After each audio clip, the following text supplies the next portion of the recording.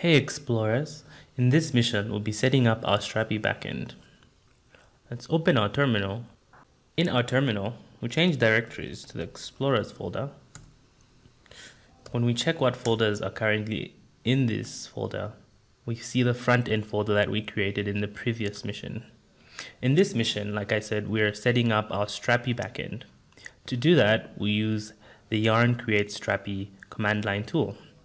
So in our terminal, we type yarn create Strapi app. We'll name this Strapi app API and click enter. Strapi has many database options.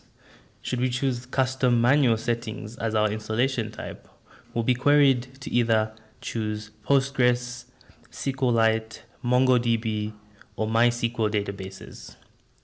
We'll go with Quick Start, which builds our admin panel and selects a SQLite database, which has the least setup.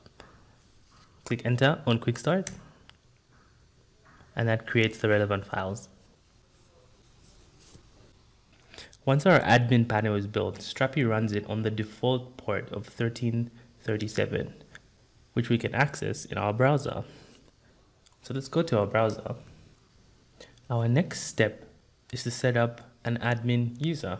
We'll give our admin user the first name of X and last name of Plora.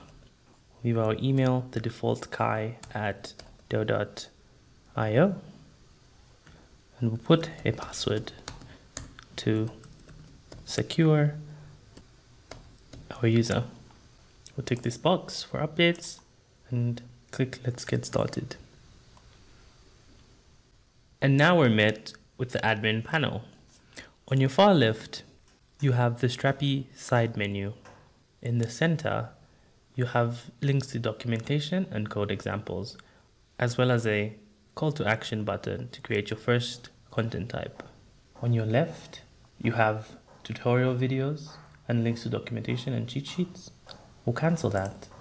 And now links to relevant spaces in the Strapi community are visible.